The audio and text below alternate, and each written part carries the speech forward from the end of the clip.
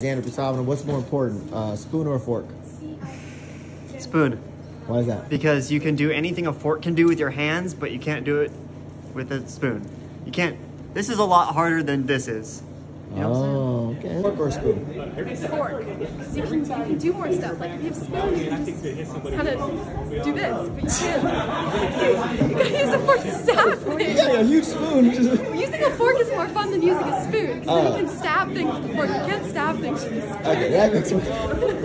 the danger factor. I'm gonna have to go with a fork. Fork? Yeah. Why?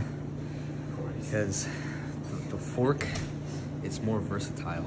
You, you could get, you can still eat rice with a fork. You can, it's a little more difficult to eat like chicken or steak with a, with a spoon. If What about, what about cereal? you eat cereal, uh, you can just grab the bowl and drink it. Just do dog bowl style. Yes, sir. Justin, what are you thinking? Spoon all day, sir. Oh yeah? Yes, fork, sir. Like spoon better than fork? Yes, sir. Why is that? Because you can basically do everything with a spoon, and you can't do everything with a fork. Interesting. What do you? Yeah, why? Uh, because you can eat cereal, soups, and all kinds of things. say a spoon just because it'll work. It'll do the task of a fork, but like you can't make a fork do what a spoon does for soup. It just won't work. So But what happens if you need like uh, eat spaghetti? Like noodle stuff. you have or- to struggle. I mean, it'll like, work. What if you got like a steak? Oh no. I mean, if you have the knife, you could cut it and still spoon it. I, I think the spoon has to be Maybe- the choice. Uh, or if I can pick a fork. I don't. I, You you're- agree with my spoon No, I don't agree with you. You're choosing I don't agree. What if you have a soup? You're never gonna be able You to gotta. make You the fork can use work. the bowl and just drink it. Important, a fork or a spoon? Ooh. No spork? No spork. I'm gonna go spoon. Spoon? I'm gonna go spoon. Why spoon?